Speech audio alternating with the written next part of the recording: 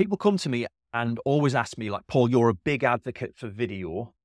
That's great. But realistically, what, what gets the best attention? Here's my target audience. What, what should I be posting to reach them? Lots of mixed answers on that, right? There is no right answer. And here's where we start to frustrate the algorithm bashers, right? Because there are people out there who worship the LinkedIn algorithm. They will do, and I've been there, I've done it.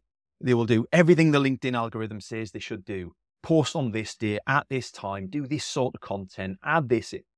That rapidly sucks the fun out of using LinkedIn. So stop worrying about all that shit, right?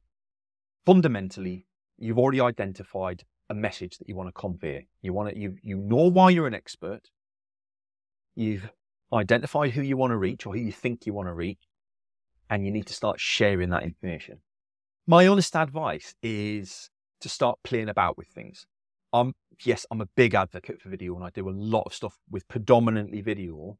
But if you notice, I don't do everything with video because not everybody takes video in. Ironically, I very rarely watch any videos myself. I totally see the value of it and I know it works, but it's not for everyone.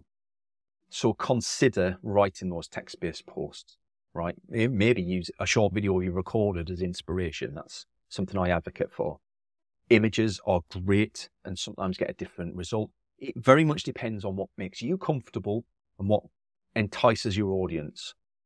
But if you only ever do one thing, if you only ever write text based posts, you only ever repost your company content, your audience are going to get bored quickly. They're not going to engage.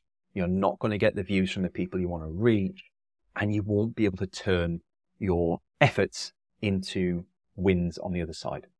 So that's my important advice is trial and error. Some people want to track that. Some people just want to get on with it. Whatever works for you, figure it out one step at a time. There is no wrong answer. Personally, I feel that you should like if you if if you want to take a, a, a framework away that I would suggest starting with. It's to do two text based posts per week, one video based post per week, and one image based post per week. That gives you a good mix, gives you enough content that you can be active and people are aware of you, and you can start to see what resonates and what doesn't. Join me for the next video where I'm going to talk about how you know whether your content's working or not, first of all.